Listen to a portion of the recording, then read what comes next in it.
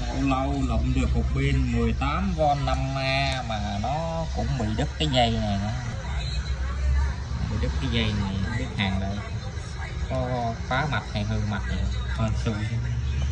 Sao cái đường này nó, nó xài ở đây bị đen đen đen không biết. Bên đây cũng y vậy thôi.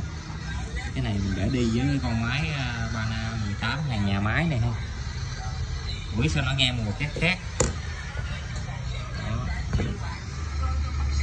này thì máy mấy em sẽ bằng cầu 1 phần 2 con này có đồ mót chỉnh lực được luôn nha. Nhưng mà mình chỉnh phút xài khi nữa mình bán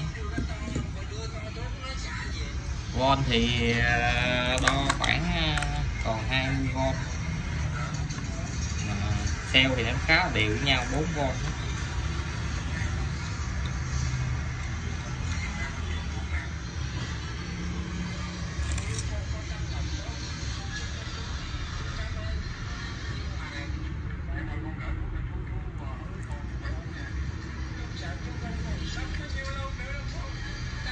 nó chạy tùm lum đúng không 20 v Xeo nó còn 4 v 4 v hết. Vỏ thì để đây, cục này nó ghi đá 2017 rồi nó hoài cũng ghi 2017 đúng chính xác. Đi.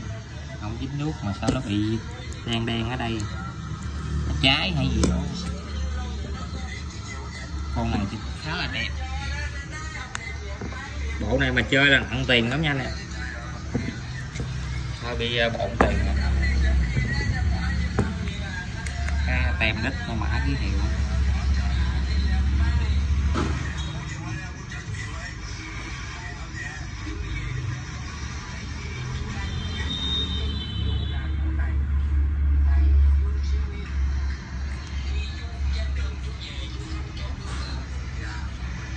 máy còn rất mới cái đầu nó hơi bị chảy nước sơn